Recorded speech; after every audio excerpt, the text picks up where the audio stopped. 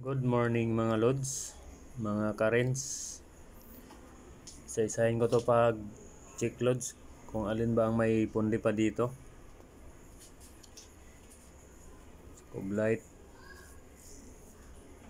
Pati sa pin light. Check na natin. Diyan kanina loads may pinalitan ako yung may tapat ng hagdan. May isang spin light na ilaw.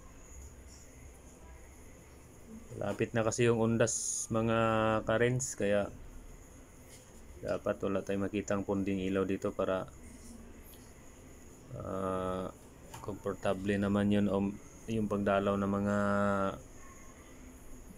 mga bisita dito lod sa kanilang mahal sa buhay.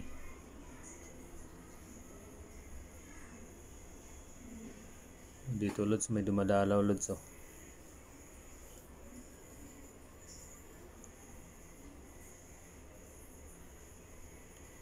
Ito na yung last loads.